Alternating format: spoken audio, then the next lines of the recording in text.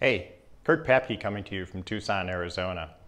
Are you looking into reducing your iMovie storage? Do you need a clip from a project that you did a couple years back?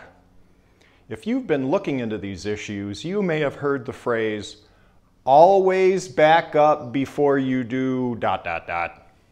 The problem is, backing up is really easy. Restoring, not so much. I'm going to show you how to do it. I spent a decade as an engineering director with Veritas NetBackup, an industry standard enterprise backup system. So I've seen a thing or two when it comes to backup and restoring systems. Today, I'm going to show you how to restore a project from an Apple Time Machine backup. Every Mac comes with Time Machine Backup and Restore software. You don't have to purchase or download anything in order to do what I'm going to show you today.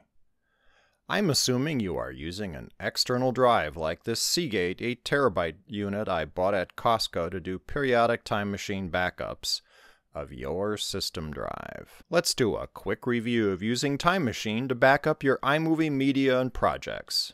If you want to jump right to the restore, skip to the time code shown below. First, let's check the Time Machine preferences. The default is to back up automatically, but I do it manually because I don't always have the drive plugged into my MacBook. I prefer to consciously back up after completing some significant edits. You'll also want to show Time Machine in the menu bar. Make sure you have any folders you want skipped in the exclusion list, and make sure your Movies folder is not in that list. We get things going by selecting Backup Now from the menu bar. This could take a while, especially if you haven't done a backup in a long time. iMovie video files are often huge, and size matters. Okay, Time Machine is finishing and cleaning up. All done. The Preferences window shows when the last backup was completed as does the Time Machine drop-down from the menu bar. Alright, it's time to do a restore. You'll note I have a different external drive plugged in now. This one is about 5 years old, nearly full, and has iMovie backups on it from when I first began making videos. The first step is to open the Finder and navigate to your Movies folder, where the iMovie library is located. Next, Go to the Time Machine icon in the menu bar and select Enter Time Machine.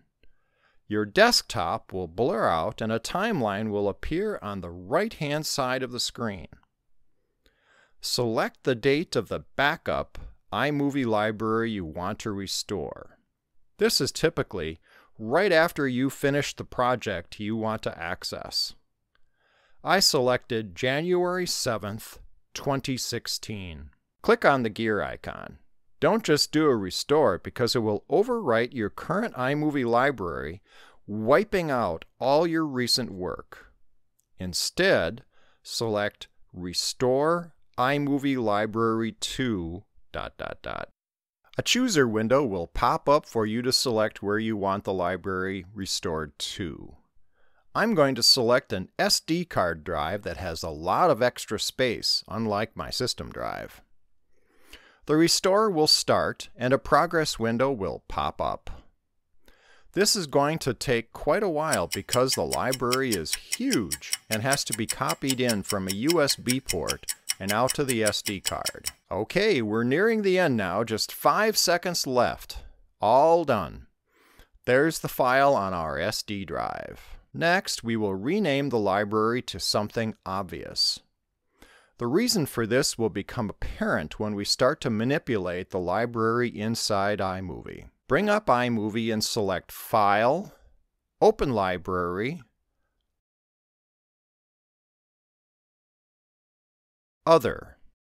A library chooser will pop up with a list of recently opened libraries. Our restored library will not be in the list because it's brand new. So click on Locate. That will bring up a Finder window where we can select our restored library, then click on Open. A loading status box will pop up with all kinds of activity as iMovie examines the projects in the restored library. In my case, it was old enough that some video clips that soon will be incompatible with macOS were found, and iMovie offers to convert them. If this happens to you, go ahead and select Convert. Voila! All of our ancient projects now appear intermingled with current projects. That's what happens when you have two libraries open at the same time. Find the project you want to access. I'm going to go to an old Boundary Waters canoe trip, BWCAW. Don't double click on the project, click on the three dots in a circle and select Copy to Library. Here's where the rename we did of the restored library becomes important. iMovie Library is the default name, and we'd have two of them with exactly the same name, which would make things really confusing. If we had selected a project from that default library, it would instead say Copy to Library, Restored iMovie Library. Once again, you'll get a progress window as it loads up the project. You'll see a pie chart progress indicator in iMovie's upper right-hand corner as it does the copy operation. Now we are going to close the restored library so iMovie isn't cluttered with all those old projects. Select the main media button, then right-click on the restored media library in the Libraries section and select Close Library. Now go back to your projects to see your current work with the addition of the restored project. Double-click on it to open it up and ta-da! You can now access all the media and clips you used to create that video. Thanks for watching. I hope this was helpful.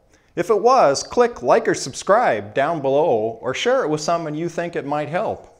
Even better, leave a comment down below with suggestions for topics that you think I might be able to help you solve.